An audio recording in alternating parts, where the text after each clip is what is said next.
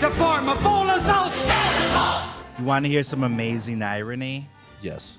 So, Mary Kay, she did some ADR work throughout her career, and she did it for a movie called What Dreams May Come, starring one Robin Williams. Mm-hmm.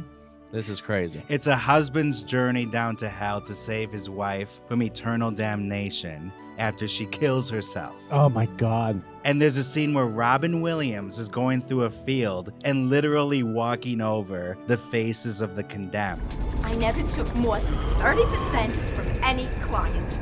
This must be the place.